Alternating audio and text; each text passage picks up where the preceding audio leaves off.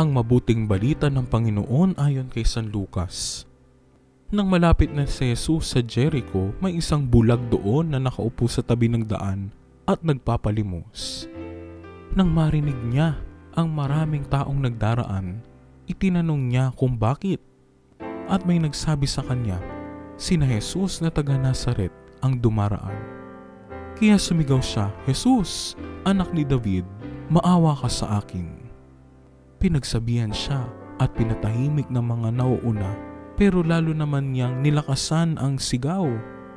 Anak ni David, maawa ka sa akin.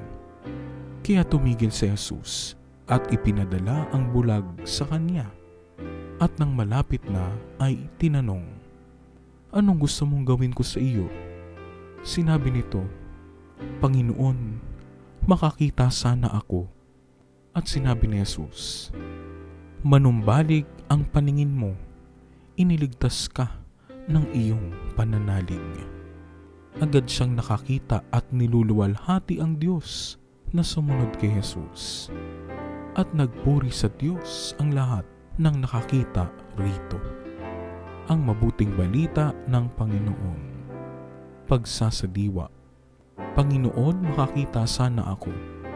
Isang bulag din lang ang makauunawa ng ganap sa tunay na nararamdaman ng bulag na ito sa Jericho habang sinasabi niya ang mga salitang ito.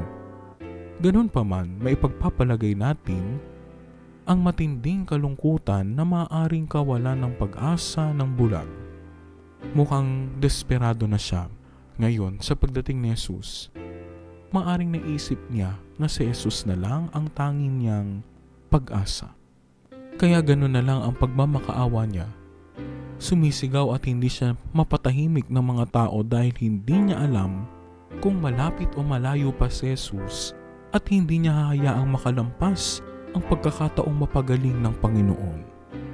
Totoong sa maraming anyo ng pagkabulag natin, si Jesus lang ang makapagbibigay ng liwanag at maayos na paningin sa atin. Hindi tayo tatanggihan ng Panginoon na ang mga humihiling sa Kanya na makawala sa anumang kadilimang kinasasadlakan natin. Pagsasagawa Anong problema o mabigat na pasanin mo ngayon ang para bang nagpapadilim sa buhay mo? Lumapit ka kay Jesus at hiningin mo sa Kanya na bigyan ka ng kaliwanagan.